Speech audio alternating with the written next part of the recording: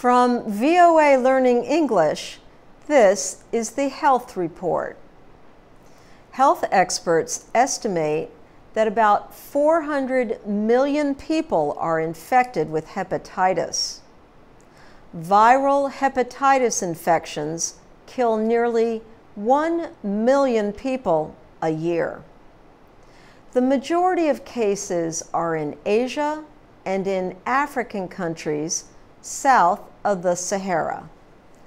A vaccine and treatment for some forms of hepatitis are now available, but they can be costly. The World Health Organization says the high cost of drugs is one big problem in fighting hepatitis. Another problem is that most people living with hepatitis do not know they are infected. There are five different hepatitis viruses A, B, C, D, and E. All five cause inflammation of the liver. The organ can become large and painful. Hepatitis A and E are spread through infectious waste in food or water. These forms of the disease cause acute infection. However, most people recover.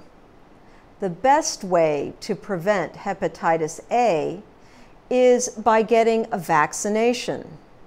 But the U.S. Food and Drug Administration has yet to approve a vaccine for hepatitis E. It is usually found in countries with polluted water supplies and poor waste treatment systems. Hepatitis B and hepatitis C can be the most serious.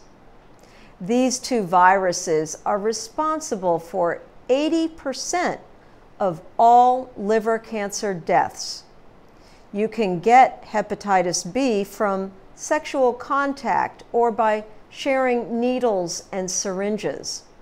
They are used to inject drugs. Hepatitis B is common worldwide. The best way to prevent hepatitis B is by getting vaccinated. Hepatitis C is spread mainly through sharing drug needles and syringes. There is no vaccine for hepatitis C. For VOA Learning English, I'm Ann Ball.